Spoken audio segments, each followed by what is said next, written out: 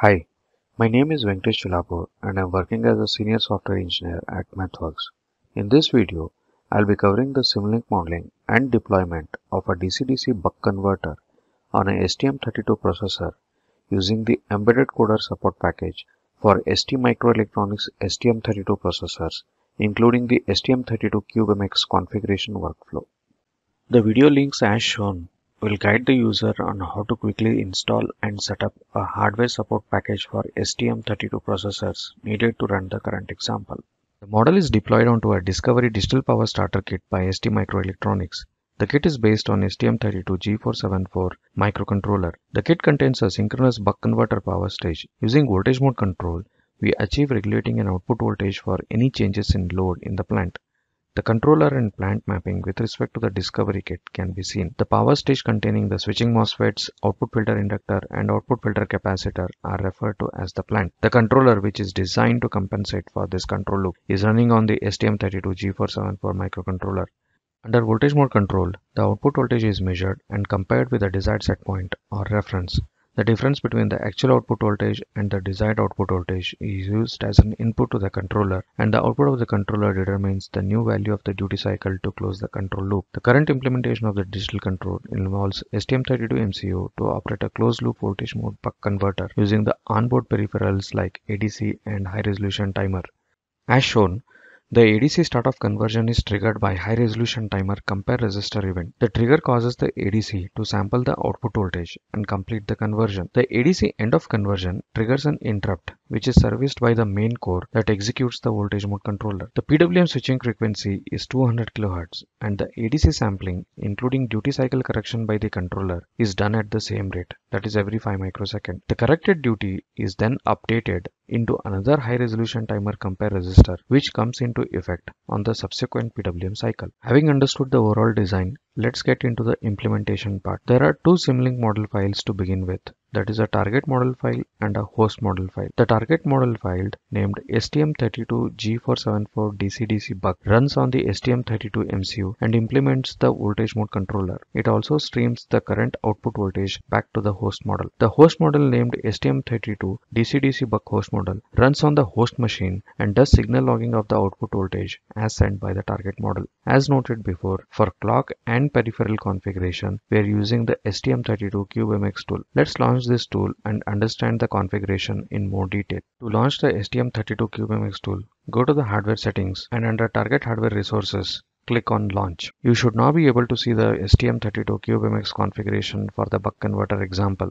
On the high resolution timer, we are using the timer C outputs to drive the synchronous buck converter stage. The outputs are configured in complementary deadband mode. Period resistor is configured to enable a PWM switching frequency of 200 kHz.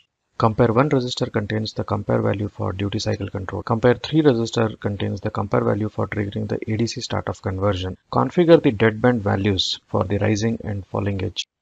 The output 1 configuration set and reset source enable the on-off switching activity for the PWM output, thereby generating the duty cycle as defined by the compare 1 resistor. The output 2 configuration section is left unchanged as this output is driven by the dead time configuration. Under ADC triggers configuration, timer C compare resistor 3 match event is configured to trigger the ADC. For ADC configuration, channel 4 is used to sense the output voltage. Notice the resolution and data alignment settings, including the external trigger source.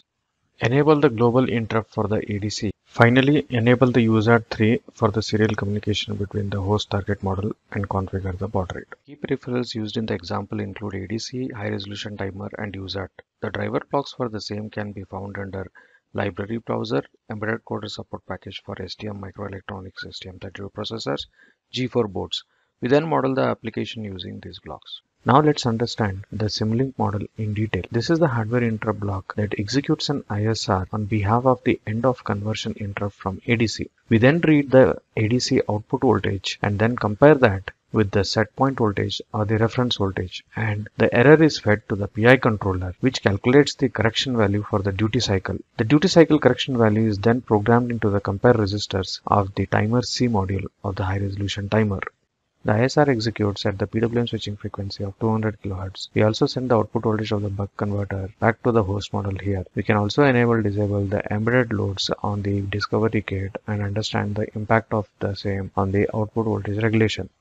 Now let's deploy this model to the target and view results. In order to do so, click on build deploy and start and this should do the code generation for the model and deploy the same to the target. Before getting into the data logging part, please note in the two model approach, although the voltage mode controller ISR runs at every 5 microsecond. We are still able to perform the data logging at up to 50 kHz speeds that is every 20 microsecond a new data value is sent from the target model to the host model. After the target model is successfully deployed, open the host model and double click on the scope, hit the run button and stop.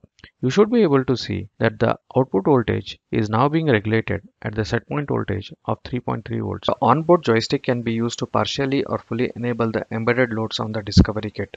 This will enable the user to analyze the impact of the load variation on the output voltage regulation.